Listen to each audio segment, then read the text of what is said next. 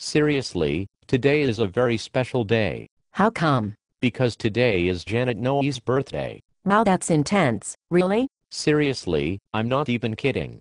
Why would I joke around about something like that? Wow, that is excellent.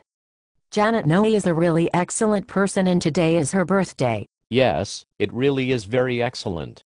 I hear she is going wine tasting in Napa. So she is going to have a very drunk birthday? It would seem so. Well, drunk Napa Janet, happy birthday. Word, drive carefully Janet. I hope you watch this video when you're all hungover and it makes you laugh and your head hurts a little bit from laughing, but then you take an aspirin. Just kidding. Don't be an ass. Sorry.